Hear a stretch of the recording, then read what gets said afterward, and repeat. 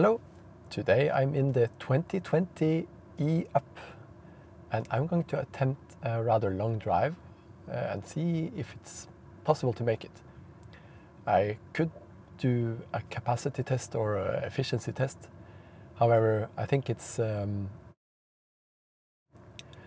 um, I want to see how it does in a real driving situation. Uh, nobody kind of drives straight on a flat road for a set speed, except maybe in America, but not here in Europe. So I'm going to see if it can make this 240 kilometer trip in one go. And also I'm, going to try to uh, see if the battery capacity is what it says in the spec. It does have a 36.8 kilowatt hour battery, I think, and 32.3 of them should be usable. So the rest is a buffer. So let's see. I've uh, nullified it the GOM says 283 kilometers, so that's promising. I reset the computer here. uh, first part of the leg is a ferry, so off we go. Right, I'm on the other side. I've driven 23 kilometers so far, which is not that much. And uh, it looks like spent maybe between 5 and 10 percent uh, of energy. So I've driven about 10 percent of the distance and uh, spent a little less than 10 percent. So hopefully this should be fine. It's quite nice this area. Lots of hills and uh, small ponds. Consumption so far is 125 watt hours per kilometer, which is really good. But you can see the average speed is quite low because I've been standing or been, uh, the ferry takes about 10 minutes. And um, contrary to the Tesla, this one actually counts energy spent when you're standing still on air condition and stuff the Tesla will not count that into the efficiency measurement. All right, uh, quick update. I haven't driven that much further. It's a nice lake here, or a fjord rather. I think it is.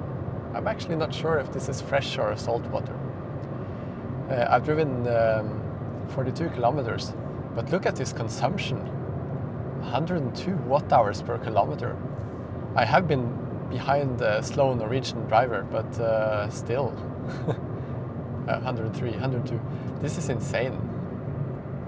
I think my Model X would have been around 140, 150 watt hour per kilometers at this point. So the GOM claims I still have 255 kilometers left. But we'll see. There's going to be a lot of uh, up and downs once I get a bit further on. It's slightly flat uh, while I'm going past or along this lake, but then there is some hills behind it that I have to go up and down. we'll see after that. Alright, I'm approaching the west coast of Norway with a lot of grazing hills and uh, sheep. can't see it. Yeah, there's a bunch of sheep up there. So I've been, uh, I passed the slow Norwegian driver even though I hit some again now. And uh, I've driven about, uh, let's say 60, 67 kilometers. Claims that I have 250 left on the gasometer. I've driven, uh, I've spent almost 25% of the energy and uh, the consumption is crazy. 111 watt hours per kilometer. So I don't know if it's the weather or what's causing this because I drove fairly hard for a while. And um, yeah, maybe this is the new efficiency king. Look at that, 111. I'm also driving on a road that they've scraped. They're preparing to pave it, so it's a bit noisy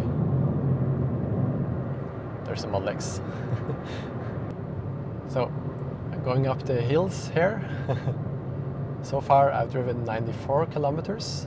I'm just barely under, well, I'm probably at 70-ish percent, maybe even 60 percent. I think each of these bars are six and a half percent. It's not easy because you don't have a digital readout of the state of charge in this car. You don't have that in mind either. Uh, consumption is 109 watt hour per kilometer, so I don't think there's it's a fluke or anything. Look, it's a big windmill that's standing still. but I think it's only about 25 kilometers left until the turnaround point. So, so far it's looking really good for this trip. Lots of windmills standing still. I thought they only were standing when they had maintenance, but it's not. There is not much wind today. So, I'm in Stavanger.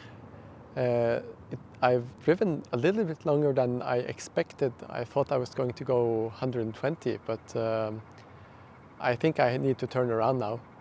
Uh, I'm not going to charge. oh, it's actually a gas station, like Naturgas, which is uh, natural gas. I thought at first it was a um, charging station. Anyway, uh, the car has been doing excellent so far, but the last part with the highway. Oh, I need to get in. It kind of killed, uh, not really the consumption, but uh, the battery. so, um, can I see this? Yeah, I think so. I'm almost exactly at half state of charge, so this is going to be quite exciting. I think I need to drive a little bit slower on the highway on the way back, because it really drained uh, like six, I think one bar here is 6.25%. Consumption so far in total is 105 watt hour per kilometer, which is really good. But I'm a bit worried that I will make it. But uh, there is a charger close by where I'm going anyway, so. Oh, there is uh, EV chargers. well, I'm not going to top up. Uh, the car is uh, far from the distance or doesn't have nearly as much issue with distance as my car has. The only thing that I don't really like in this car is the seats. Makes me miss my Model X a bit.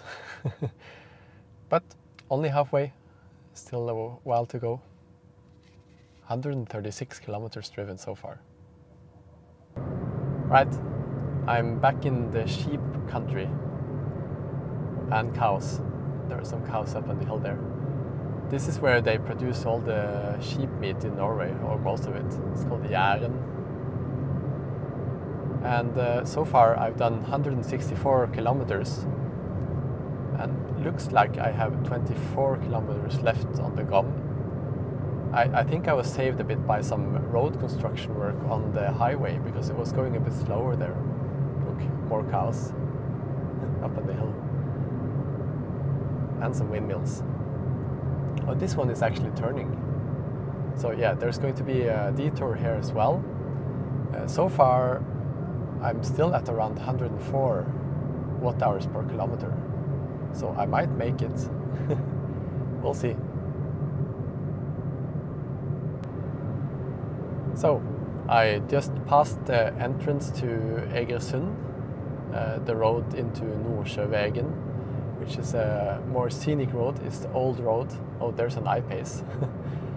um, and I'm about to pass 200 kilometers in an E-up. That's almost unheard of. definitely not something my old E-up could do. So far I have, uh, well, I'm almost at 25% state of charge. Still got a few there, past 200. Still got a few kilometers left in it. And I think I will make it back. You can see if you add up the length of driving, 200 kilometers, and plus the gasometer which says 94 kilometers, it's almost 300 kilometers of range. But I've had, uh, I've been behind the slow Golf for a bit. So um, yeah, I don't I don't think the car would have been able to do this trip without any other cars on the road or road construction and that sort of thing. So you have to drive to get this distance. You have to mind your consumption. you can see right now it's uh, 103 watt hours per kilometer, which is just crazy. I'm back on the the bad road, the the uh, road where they sh shaved the top of it off to repave it, and it's about 10 kilometers later than the 200 mark, and I just passed 25% state of charge, so 210 kilometers so far. So it's even more than double my own car due to the degradation, of course. But it's uh, still nice weather, still nice scenery. I have a little bit left to go, and I think I might make it. We'll see. There are a couple of places I can bail out if I don't. So the the guessometer, oh, now it bounced back up. It was at 48 kilometers uh, range left, but now it says 50, uh, uh, 49. Okay, so it's going a bit up and down. It's because I just entered a lower speed limit zone, and I'm not spending as much energy right now. However, at 50 kilometers, I got the warning, uh, 50 kilometers left, and it engaged eco mode for me. Uh, and I, it's so hot today, I'm tempted to just take it off. But um, so far, 102 watt hours per kilometer, 240 kilometers driven, which is kind of crazy for an e-up. And uh, yeah, you can see there as well, it's 21.5 degrees outside. It's really hot. Oh, now I entered a tunnel. But there's not many kilometers left, I think. Uh, it said 135 at the turnaround point, which means I should go another 30 kilometers. It's gonna be tight. So um, hopefully this car keeps driving slow so I can draft behind him. They also have a ferry to make. I don't think I need to charge. If I do, I miss the ferry. We'll see. Oh, now it's driving even slower. I'm entering uh, Flekkefjord kommune, which is where I'm going. So that's a good sign. I am passing through the city of Flekkefjord. Flekkefjord, as they say here. Uh, GOM says 28 kilometers left. I know it's about 14 kilometers to where uh, I'm going. I just passed the last fast charger, so uh, it looks like I have about 6.25% state of charge left. I'm at exactly 100 watt hours per kilometer. Um, so I, I'm a bit unsure if I'm going to make it, but it's, there's no fast roads, or there's some slightly fast roads, um, fastish, and a lot of ups and downs. And I've gone 260 kilometers so far but I don't entirely trust that gasometer because there is some downhill before coming here. 27. It's going to be tight. The ferry leaves at in 20 minutes, so I, I don't have time to fast charge really.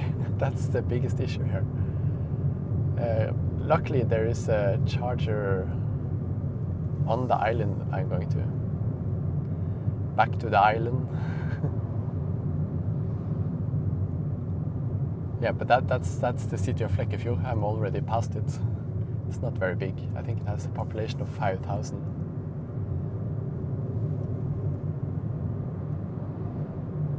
So I'll, I'm getting also getting kind of hot here because it turned on the Eco Mode Plus and I can't shut it off. So I have no air conditioning or anything here. And it's hot outside, 22 degrees. I think this is the last major up and down. There's one up before the um, ferry. I think this is the, I can charge a little bit here. It just gave me a message. It said, the battery is empty. Driving extremely limited. And I have turtle mode. You can see the orange turtle to the left of the speedometer. And uh, this thing says that my consumption is too high to make it home. which is a bit scary. Now it says 14 kilometers again, but the, the needle is almost empty. And I think I have a few kilometers left after the ferry, so this is going to be very close. I've been kind of hypermiling uh, right now, not driving fast at all. I probably shouldn't have done a couple of the overtakings I did. But now I'm at the bottom of this hill, I'm getting to the ferry. Well, there's one small hill left. And then I have the ferry. Whew, I made it back to the starting point. I've driven 273 kilometers and the gasometer says I have 23 kilometers range left, which is uh, good, very good for an e-up, but I did have to hypermile a bit at the end because I was getting scared. The gasometer was down to about 10 kilometers at one point. And um, as you can see, the total consumption from the trip was 100 watt hours per kilometer or 10 kilowatt hours per 100 kilometer. And if you multiply that by uh, the 273 kilometers I've driven, that comes out to 27.3 watt kilowatt hours used. And um, that's kind of strange because the battery is now at 5%. Which, uh, uh, that's also really strange because it was down to zero. And after I left the ferry, it just kept going up and up and up. So a pro tip, if you get low on juice on this car, just shut it down for a bit and it seems to be recalibrating or something like that. But if you take 27.3 divided by 0.95, to get the total battery capacity, it's only like 29 kilowatt hours and it's supposed to have 32.3. So that's a bit lower than I expected, expected, but I suspect that this number is incorrect because it's incredibly low. and it's not, uh, I, I don't think it's possible the way I drove to have this low consumption. Anyway, this car is definitely usable for medium range driving or I've been driving for three, four and a half hours now and I'm starting to hurt a bit in my back. But other than that, it's uh, a nice car and it would just be a quick uh, top up on the fast charger and I could go on. So it's definitely better for medium to long range than my own car, my e-up, not the Tesla. but uh, comfort wise, uh, I don't think more than five hours is is good. but um, yeah, for the price, this is a great car. Uh, and um, I'm kind of jealous of the range compared to my own e-up.